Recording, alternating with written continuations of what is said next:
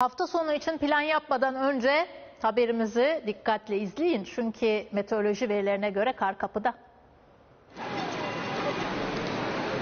Perşembe akşam saatlerinden itibaren kar yağışı bekle- beklentimiz söz konusu. Sadece mega kent değil, tüm yurdu etkisi altına alacak kar yağışı. Özellikle hafta sonuna dikkat. Cuma günden itibaren yurdun büyük bir bölümünde yağışların kar şeklinde olmasını bekliyoruz. Meteorolojinin tahminlerine göre hava sıcaklıkları 8 ila 10 derece düşecek. Yeni bir yağışlı hava dalgası da etkisini gösterecek. Kıyı kesimlerinde yağmur, yurdun iç ve doğu kesimlerinde kar şeklinde olmasını bekliyoruz. Kar yağışı Ankara'ya cuma akşamı gelecek ama İstanbul cuma sabahına beyaz örtüyle uyanacak. Cuma sabah saatlerinden itibaren İstanbul'un tamamında kar yağışının etkili olacağını söyleyebiliriz. Çatalca, Silivri, Beylikdüzü gibi ilçelerinde kar e, miktarının 5 ila 10 santim arasında. İstanbul'un merkezinde ise bu kar yağışlarının e, 2-3 santim arasında bir örtü bırakmasını bekliyoruz. En dikkat çeken uyarıysa trafik noktasında yapıldı.